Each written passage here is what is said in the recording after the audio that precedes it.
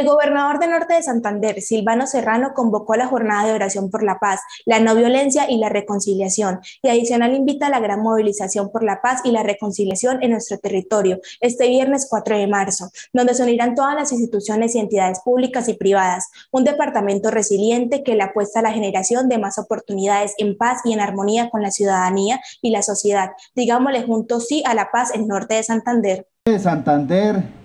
tiene una historia que ha sido plegada durante muchos años de violencia, especialmente la región del Catatumbo, abocada por la presencia histórica de grupos armados que han generado violencia. Hace unos años el pueblo colombiano soñó con la paz y este territorio, el de norte de Santander, aceptó esa invitación con el anhelo inmenso de que la región del Catatumbo, la región de la provincia de Ricaute, de Pamplona, de Occidente, nuestra área metropolitana, la zona rural de Cúcuta, tuviese un escenario de progreso y de desarrollo en donde la paz y la convivencia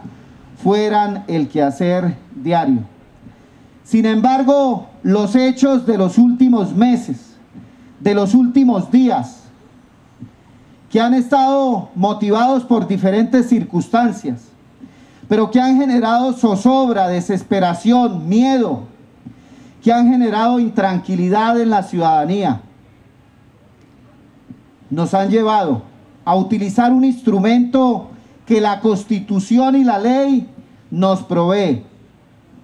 los consejos territoriales de paz son un instrumento que la legislación colombiana entrega no solo a las instituciones, sino a la sociedad civil, para que en medio de ella o en medio de ellos, como instancia de congregación de los actores en el territorio, podamos trabajar por la paz. Ya fue este un escenario exitoso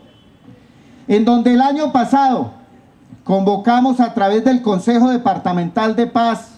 un escenario de diálogo, de concertación, de escucha y de negociación. Y por eso Norte de Santander fue uno de los territorios en el país que no le aportó agresión a la vida.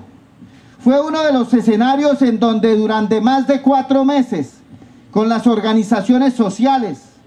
con las organizaciones comunitarias, con quienes motivaron de alguna manera en el país, pero especialmente en norte de Santander, la movilización social, nos sentamos a darle una mirada a lo que significaba el desarrollo y progreso de nuestro departamento y estamos en un 98% en el desarrollo de unos acuerdos que permitieron no utilizar la fuerza. Y ese es un valor positivo como región. Por eso hay que reconocer que esas organizaciones sociales,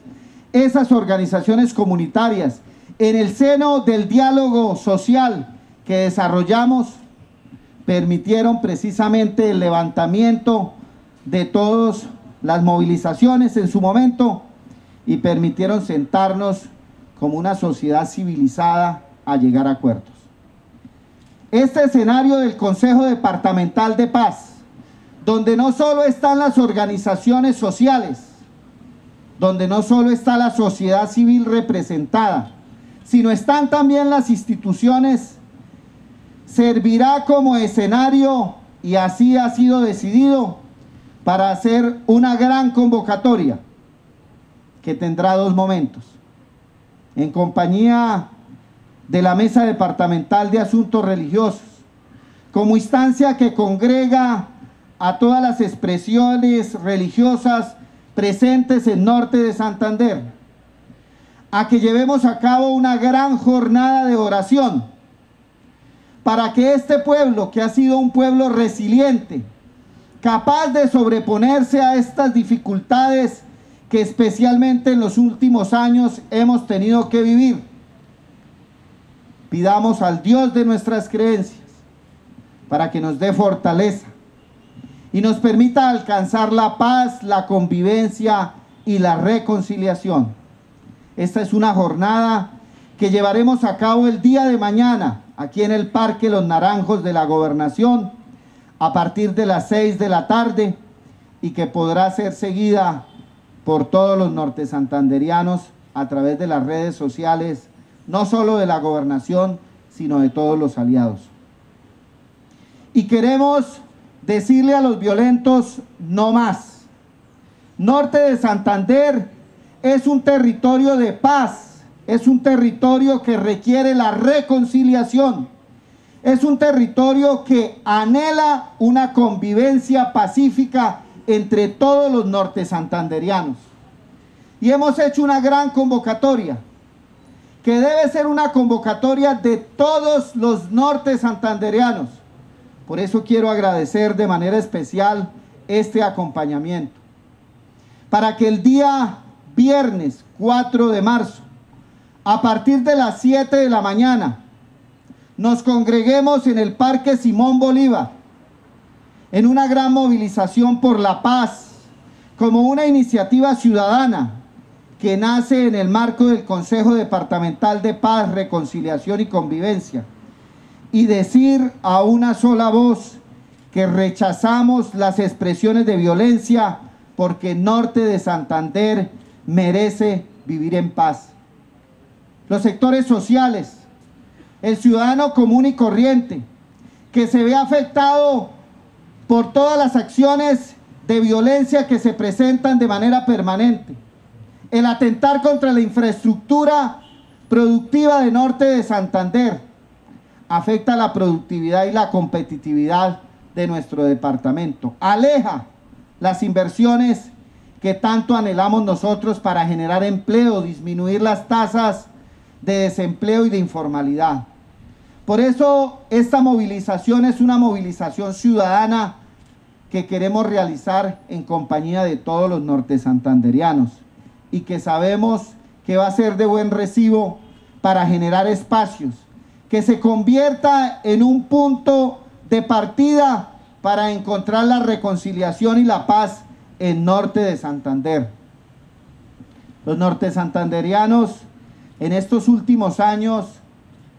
nos hemos visto afectados tremendamente por diferentes crisis. Por eso la denominación que he hecho de que este es un territorio multicrisis las confrontaciones armadas entre los grupos irregulares que generan permanentemente zozobra en la región del Catatumbo, en el área metropolitana. El desafortunado proceso que ha afectado a tantos hermanos venezolanos y que en medio de la tragedia de esta emergencia sanitaria llevó a los flujos tanto de Colombia hacia Venezuela como de Venezuela hacia Colombia y que hemos tenido que enfrentar para brindar ayuda humanitaria y atención a esos hermanos venezolanos. Posteriormente, la crisis ambiental que se presentó en el año 2020, ocasionado por diferentes factores medioambientales. Esta permanente confrontación entre los grupos armados y delincuenciales en la zona de frontera, que cobran la vida permanente de norte santanderianos, el asesinato de líderes sociales, personas que trabajan diariamente por llevar el desarrollo a sus comunidades, las afectaciones a la libertad de las personas, las afectaciones al bien privado, en fin.